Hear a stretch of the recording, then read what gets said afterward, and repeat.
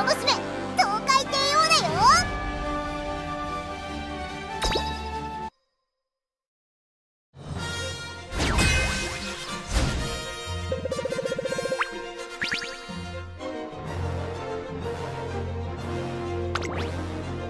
注目の一番人気8番東海帝王いい感じに気合が乗っていますね。芝のコースで力を十分発揮できそうですね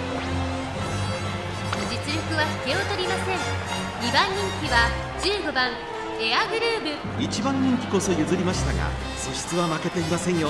前目につける先行策で勝利をつかんでほしいですね。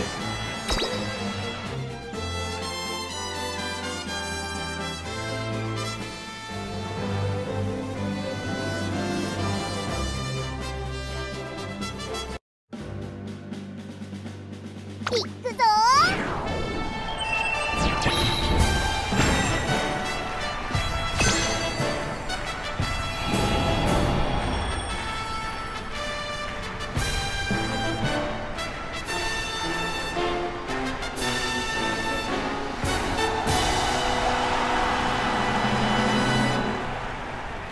れ渡る空のもと行われる東京レース場芝2000レジェンドレース18人の馬娘たちが挑みます。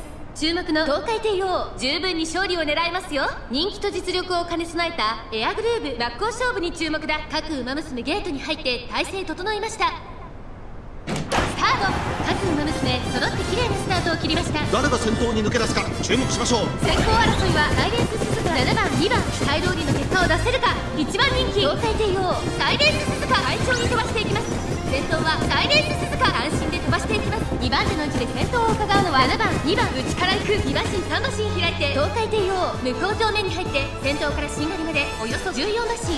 先頭を行ったのはサイレンススズカ続いて7番激しい先頭争い1馬身差2番1その外並んでエアグルーヴさらに5番。それを見るように17番内をついて13番少し離れて11番その後から4番後ろ9番1馬身差6番。それを見るように18番12番続いている。外を回ります。14番。それを見るように1番後方2番手に16番10番最高峰だ。意気揚々と先頭を行きます。サイレンススズカどうでしょうこの展開。かかってしまっているかもしれません。一息つけるといいですが。先頭は相変わらず続いて7番大欅を越え4コーナーへ。先頭は見合ったまま